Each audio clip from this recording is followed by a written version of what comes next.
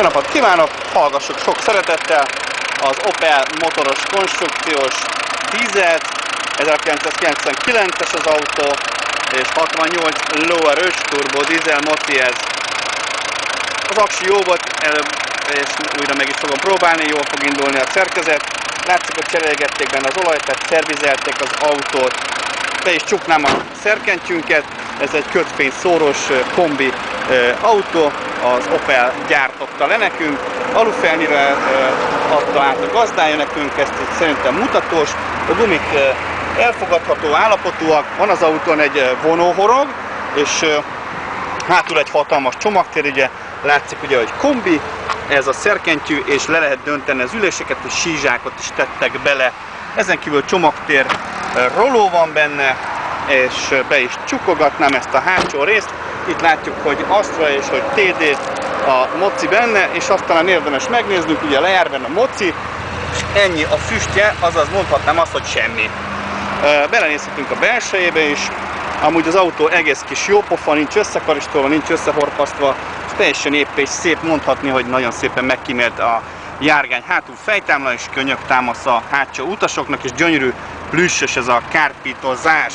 Természetesen ugye föl lehet hajtogatni, és le lehet dönteni, és lehet belőle csinálni kis teherautót, hogyha azt szeretnénk belőle csinálni. Elektromos ablakok és tükrök, ugye itt a vezető felüli oldalon lehet állítgatni mindent rajta, úgy a szülést is lehet állítani, és még nem tudjuk, hogy a kormányt lehet-e.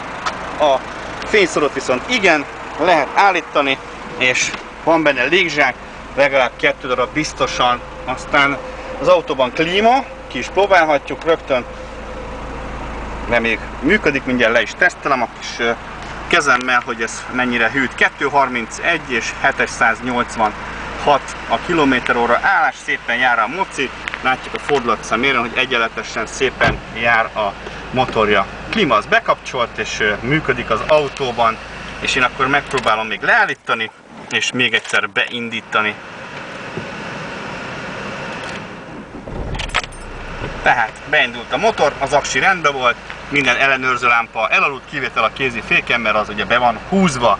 Ugye van benne ezen kívül ugye ö, szervokormány, ami egyértelműen, és a gyári kár 300-as Blaupunkt rádió. Ö, amint láttam, nem dohányzó volt az autó, úgyhogy ez pozitív, egy ötös váltó, és itt is nagyon szép a kárpítozás az autónak, nincs kiülve, nincs kiégetve, és nem büdös cikiszagú az autó. No, tehát ez lett volna a mi kis Opel Astránk, itt az M3 autóparkban, itt lehet megnézni, meg lehet próbálni, át lehet vizsgáltatni az önök kedvenc szerelőnél, ha úgy gondolják. Úgyhogy ennyi lenne a viszontlátásra. Köszönöm, hogy velünk voltak.